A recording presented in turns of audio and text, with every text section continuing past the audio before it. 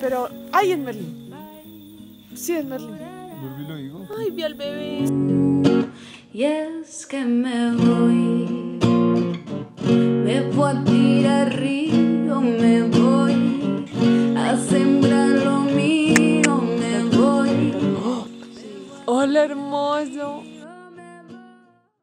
Hola chicos, ¿cómo están? Soy Paula Erazo, soy integrante de Ciencia Tropical y en esta nueva sección llamada Un día en la vida de les estaremos presentando lo que es la vida de los investigadores en el laboratorio y en el campo. Ya les enseñamos un poco lo que era trabajar con murciélagos y ahora en esta nueva oportunidad les estaré presentando lo que fueron mis últimos cinco meses siguiendo monos nocturnos en una reserva como a una hora de Bogotá. Son las 12.09 y como a la una estaré partiendo hacia la reserva, así que bienvenidos. Cuando me vaya pa'l monte, me empacaré en el bolsillo cuatro lunas, un naranjo y todas las rositas del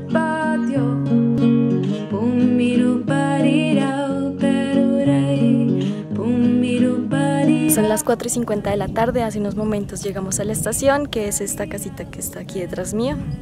Ahí fue donde viví prácticamente cinco meses.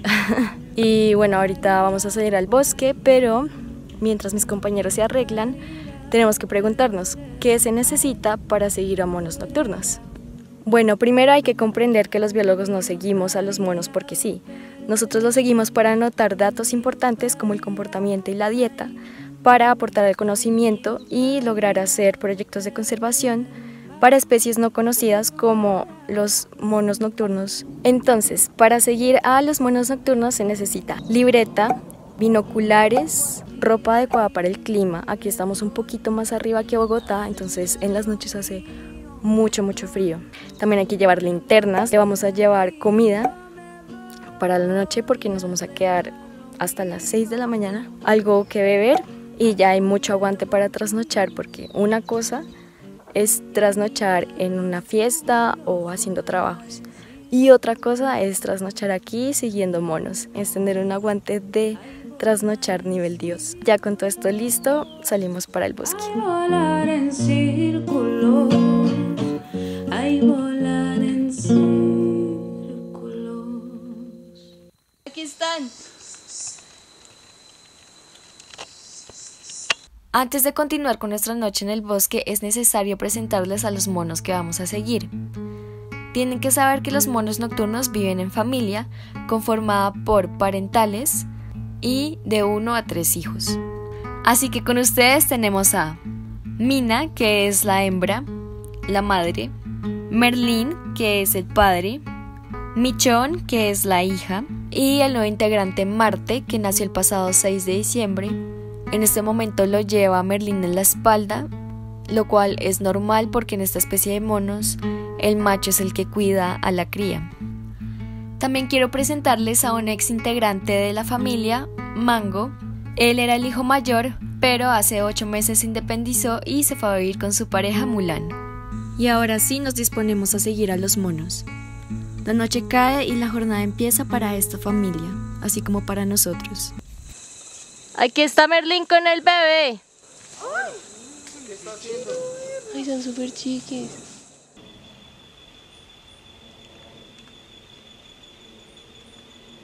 El mayor reto que tenemos es no perderlos, lo cual es a veces inevitable. Ya sea porque los monos se fueron y no hicieron ruido al irse, o ya sea porque te quedaste dormido y no te diste cuenta a qué hora se fueron los monos. Y con ustedes les presentamos la frustración que a veces sienten los investigadores. Pero que no pan del cúnico. En estos momentos de desesperación hay que calmarse, tener paciencia, encender el sexto sentido e ir a buscar a los monos. Pero hay en Merlín. Sí, en Merlín. Vuelvo y lo digo. Ay, vi al bebé. Sí, marica. Ahora, durante la noche estamos registrando el comportamiento de los monos. Cada 15 minutos anotamos lo que están haciendo, si se están moviendo, si están comiendo, si están descansando o si están interactuando entre ellos. Cada interacción social que hay, si se acicalan, si se agreden, si juegan, Si se acercan, entre otras cosas, se anota cada vez que ocurren. Eso no sería acercamiento. Ajá. toca- toqueteo. Hace, Hola, hermoso. Uy, hace de michona mina. Y se están Ay, abrazando con la no. cola. Mónica, son hermosas. Por allá viene Merlin. Como les dije, también nos interesa mucho registrar la dieta de los monos. Así que cada vez que vemos que un mono empieza a comer de un árbol o captura un insecto y se lo come, eso lo anotamos. Alimentación de michón, de flores, FL. Y así, tomando nota del comportamiento y la dieta, es como se nos pasa la noche. Sin embargo, existe una franja en la que los monos se ponen a descansar y literalmente duermen. Es el momento más duro de la noche porque hace mucho frío y así como los monos, tú también quieres dormir. Los monos que seguimos descansan más o menos entre 40 minutos y 3 horas y media, por lo cual tenemos que estar muy bien mentalizados y entusiasmados para no quedarnos dormidos en mitad del bosque. Lo bueno es que una vez se despiertan y empiezan a moverse otra vez, la energía regresa y la noche va culminando entre los monos y el bosque. La cría está ahí también en reposo. Contacto Llegó la de- ¿Ah, sí? AP, ese es AP. ¿AP? De mina a Merlín. ¿Le pasó la cría? Ay, marica. Ay. Sí, otra vez. La vamos a aguantar. Sí. SLA. Y AC termina el AP Ay, la está, y comienza un PC de Merlín a mina. El rumino ahí. ¿También? Autogrooming de Merlín, 5 segundos. Tan bella. ¿Cómo hace? Sí, pues ahí se nota todo el momento de la lactancia. Ja, Sí, ya. Ahí estoy, ahí estoy. Ya se le volvió. Y ya se acabó el, el PC. Ya. Uy, qué asco, marica. Obviamente huele como a verdura y eso, como a plantas. Por el lugar. Ujú.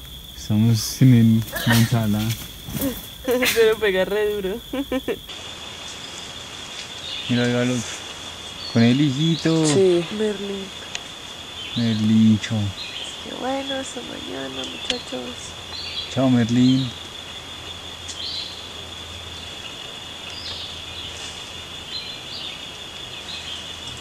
Mira, ahí pasó el otro. Listos. ¿Cómo se sienten? Muy bien. Cansados, pero. Bien. Estuvo bien, estuvo bien.